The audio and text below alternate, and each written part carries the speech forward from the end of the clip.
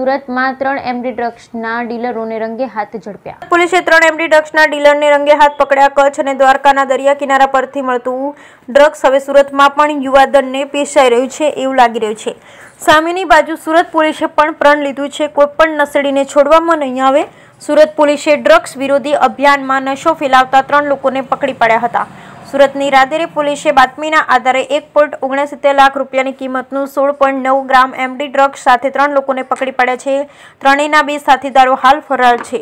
પોલીસને બાતમી મળી હતી કે સફેદ રંગની ટેક્સી પાર્સિંગ ગાડીમાં ડ્રગ્સનું વેચાણ કરવામાં આવી રહ્યું છે.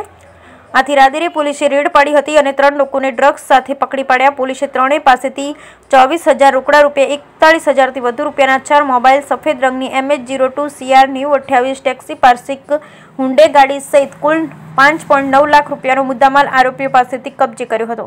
જાહેર વાત છે કે છેલ્લા ઘણા સમયથી ગુજરાત પોલીસે દરિયાકાંઠા વિસ્તારો અને અમદાવાદ અને સુરત જેવા શહેરોમાંથી ડ્રાઈવ કરી અથવા રેડ પાડીને ડ્રગ્સ પકડી રહી છે.